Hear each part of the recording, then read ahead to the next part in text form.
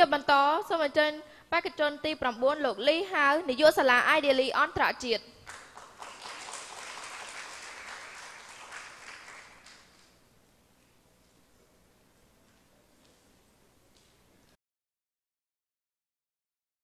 ខ្ញុំប្រកាសណាខ្ញុំបាទអឺសូមគោរពព្រះថេរានុថេរៈគ្រប់ព្រះអង្គសូមគោរពឯកឧត្តមលោកជំទាវអស់លោកលោកស្រីអ្នកនាងកញ្ញាដែលមានវត្តមាននៅទីនេះទាំងអស់ជាទីគោរព ថ្ងៃនេះខ្ញុំចង់លើកយកបរិយាកាសឬក៏វិធីសាស្ត្រអប់រំនៅក្នុងគ្រួសារមកចែកជូនដល់អ្នកទាំងអស់គ្នាស្ដាប់ថ្ងៃមួយនៅផ្ទះរបស់ពូសុកនិងពូសៅមានភ្ញៀវមកលេងហើយពេលដែលពួកគាត់កំពុងតែជជែកគ្នាកូនគាត់មកធ្វើការរំខាន រញ៉េរញ៉ៃបលែងគ្នាលេងពេញហ្នឹងហើយពេលដែលជួបស្ថានភាពបែបនេះបរិយាកាសក្នុងផ្ទះគាត់វល់តែម្ដង ជាពិសេសគាត់យល់ថាខ្មាស់ភ្ញៀវបាក់មុខឬគេអាចថាយើងមិនចេះបដៅកូនហើយស្ថិតក្នុងស្ថានភាពបែបនេះយើងចាំមើលថាតើពូសុកនិងពូសៅគាត់ដោះស្រាយយ៉ាងដូចម្ដេចដំណោះស្រាយរបស់ពូសុកពេលនោះគាត់ព្យាយាមគ្រប់គ្រងអារម្មណ៍របស់ខ្លួនឯងហើយគាត់សុំទោសទៅភ្ញៀវដោយគាត់សុំផ្អាកការសន្ទនាមួយភ្ញៀវសិនបន្ទាប់មកគាត់នាំកូនចូលទៅក្នុងបន្ទប់ហើយគាត់បញ្យល់កូនគាត់ថាសៃហា ពេលដែលមានភ្ញៀវមកលេង ពេលដែលគេកំពុងតែជែកគ្នា កូនមិនត្រូវលោឡាឡើយកូនមិនត្រូវរញ៉េរញ៉ៃរំខានដល់ប៉ាឡើយកូនល្អគេអត់ធ្វើដូច្នេះទេហើយបើសិនជាកូនចង់លេងកូនអាចចេញទៅលេងនៅខាងក្រៅតែកុំលោឡាពេលនេះប៉ានិយាយស្រួលជាមួយកូនប៉ាសង្ឃឹមថាកូនអាចស្ដាប់បានតែបន្តិចទៀតពេលដែលកូនចេញទៅនៅតែលោឡាទៀតពេលភ្ញៀវទៅបាត់ប៉ានឹងដាក់តនកម្មកូនហើយ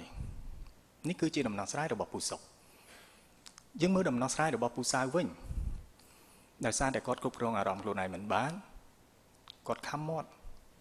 គាត់សម្លក់ទៅកូនរបស់គាត់ទៅបើកនៃធំធំហើយគាត់សម្លុតរវាយកូនរបស់គាត់ទៀតទោះបីនៅមុខភ្ញៀវក៏ដោយប៉ុន្តែគាត់មិនបានបាក់ការសន្ទនារបស់គាត់ឡើយប៉ុន្តែបន្ទាប់ពីភ្ញៀវត្រឡប់ទៅវិញអស់គាត់ហៅកូនគាត់មក គាត់ចាប់ដើមមួលផ្លូវកូនរបស់គាត់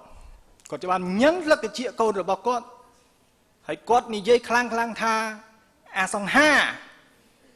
អញប្រាប់ឲ្យប្រហែលដងហើយថាភ្ញៀវមកក៏មកឲ្យញ៉េញ៉ៃមិនក៏ឲ្យស្ដាប់មិនបានអញ្ចឹងណាញ៉ឹងស្លឹកជាកូនចង់ហៅពីដី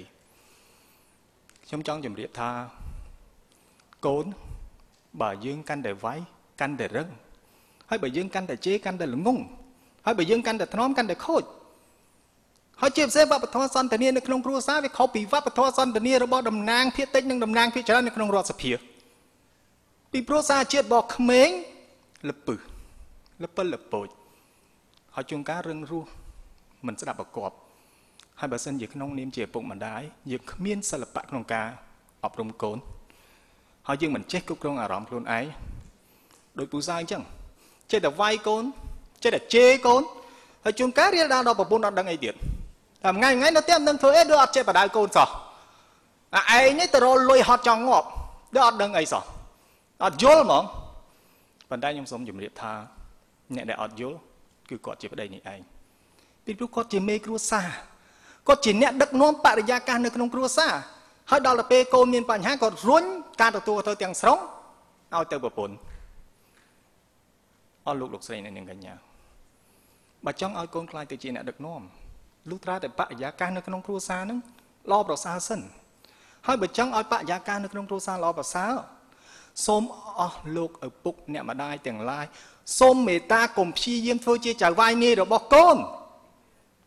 ទស្សនៈរបស់ខ្ញុំសូមព្យាយាមធ្វើជាទីប្រឹក្សាដាច់ថ្លៃរបស់កូនទៅវិញមានន័យថាម៉េចមានន័យថាយើងគឺជាទីប្រឹក្សាដែលគ្មានប្រាក់ខែប៉ុន្តែហៅស្មើណាបានស្មើនឹង មិនថាយប់អាទិត្យថ្ងៃសៅរ៍អាទិត្យថ្ងៃបុណ្យតាកូនឈឺខ្វាកប្រពន្ធឈឺក៏អញ្ចឹងបាទជាពិសេសពេលដែលកូនបរាជ័យដូចថ្មីថ្មីបើសិនគាត់ទៅតម្លាក់ធ្លាក់បាត់ដប់អញ្ចឹងយើងត្រូវលើកទឹកចិត្តកូនធ្លាក់មិនមែនជាបញ្ហាទេអ្វីដែលជាបញ្ហាគឺកូនប្រឡងអត់ជាប់ហើយឆ្នាំហ្នឹងប្រឡងអត់ជាប់ឆ្នាំក្រោយយើងប្រឹងជាពិសេសមុខវិជ្ជាដែលយើងបើកចាក់អត់បានយើងកាន់តែដឹងខ្លួនទៀត កូនត្រូវយល់កុំពឹងតែលើបើកចាក់ពេកខ្ញុំសូមជម្រាបថាវប្បធម៌សន្តានានៅក្នុងគ្រួសារដែលល្អគឺគេចេះគោរពគ្នាទៅវិញទៅមកគេចេះឲ្យតម្លៃគ្នាទៅវិញទៅមកគេចេះបើកចិត្តឲ្យទូលាយស្ដាប់ហេតុផលគ្នាទៅវិញទៅមកនេះគេហៅ team work ទោះបីជានៅក្នុង framework របស់ leadership ក៏គេត្រូវការ team work ដែរពីព្រោះជួនកាលប្រពន្ធយើងអាចធ្វើទីប្រឹក្សាយើងដែរតាមកយើងអត់ចេះឈឺ ហើយមកយើងអត់ចេះកាត់ទុកហើយជួនកាលយើងចេះបរាជ័យដែរជួនកាលមានកូនមកអ្នកណក់អ្នកណក់មួយយើងដែរសិតតែជាទីប្រឹក្សារបស់យើងទៅវិញទៅមកមិនប្រកាសថាយើងធ្វើទីប្រឹក្សាដាច់ថ្លៃពួកគាត់ជួនកាលគាត់ដាច់ថ្លៃឲ្យយើងវិញដែរប៉ុន្តែសម្រាប់កូនអាចមានកាដូមិនដឹងបាទគាត់អាចមានការដុតដូរអញ្ចឹងខ្ញុំសូមជម្រាបថាចង់ឲ្យម្នាក់ម្នាក់គ្រប់គ្នាអាចคล้ายទៅជាអ្នកដឹកនាំនៅក្នុងគ្រួសារសូមសម្លឹងមើលគ្រួសាររបស់ខ្លួនសិនជាពិសេសបរិយាកាសរស់នៅហើយជាពិសេស លោកឪពុកអ្នកម្ដាយបើអ្នកមិនទាន់យល់ថាធ្វើជាឪពុកអ្នកម្ដាយគេត្រូវមានការទទួលខុសត្រូវយ៉ាងម៉េចនោះពជាសិនទៅពជាកំណត់បានតើបញ្ញាប់ទៅណាមិនអញ្ចឹងកុំមានកូនហើយនៅលេខលាក់ជួនកាលពិបាកដល់តាយាយទៀតខ្ញុំចង់ជំរាបថាពិបាកដល់តាយាយទៀតគុំធ្វើជាឪពុកម្ដាយដែលគ្មានការទទួលខុសត្រូវ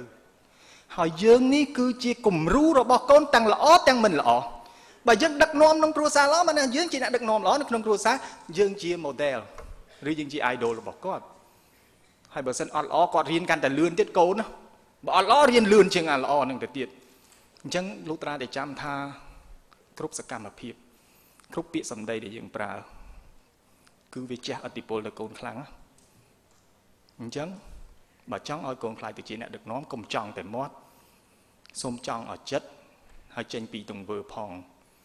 បាទនេះទើបយើងចង់ពិតប្រកប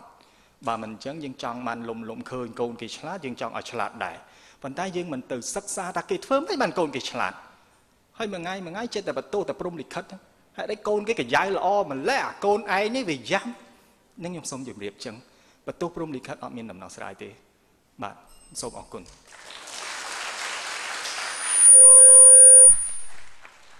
ចាសូមអរគុណលោកលីហៅនាយកសាលា Ideally អន្តរជាតិ ដើម្បីមោទនភាពក៏